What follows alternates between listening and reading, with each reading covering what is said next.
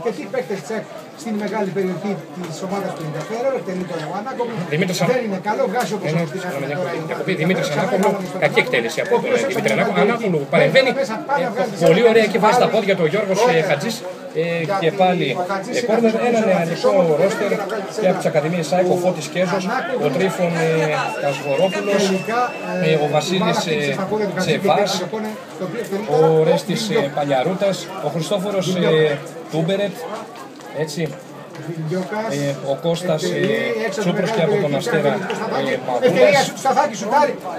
Για να δούμε, ε, μεγάλη συμμετοχή εκεί στα καρέ της άμυνας ε, του Ρίγα Φεραίου.